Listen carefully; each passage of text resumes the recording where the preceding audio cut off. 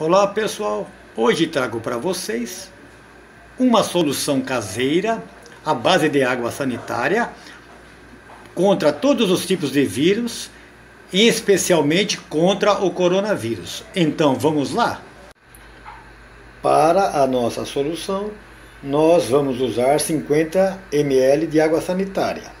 Aqui eu tenho um recipiente que marca a quantidade. Mas se vocês não tiverem, vocês podem colocar nesses copinhos de 50 ml para usar.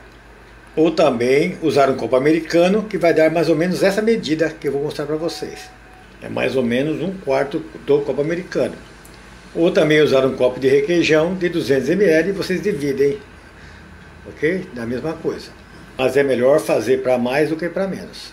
Para essa medida, eu vou usar uma garrafa PET de 2 litros, ok?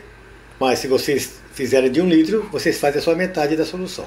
Para facilitar e colocar nossa água sanitária na garrafa, eu cortei um tubo antigo de dipirona vazio para servir de funil, mas vocês podem usar outro tipo de, de material. Até mesmo um tubo de detergente cortado funciona também, como funil. Vou colocar aqui dentro da garrafa PET para vocês verem como facilita colocar a colocação água sanitária sem perder nada, olha que fácil, tá vendo? Depois vocês podem jogar fora aquele tubo. Então aqui dentro tem 50 ml de água sanitária. Como estou fazendo uma mistura para 2 litros, agora vou colocar água quase enchendo a garrafa. Porque 50 ml é para 2 litros, ok? Já coloquei a água, agora vamos agitar um pouco. E está pronta. Agora vou colocar uma etiqueta. Já coloquei etiqueta, por quê? Porque etiqueta é para vocês deixarem em lugar seguro longe de crianças e também identificar o produto, para que evite acidentes.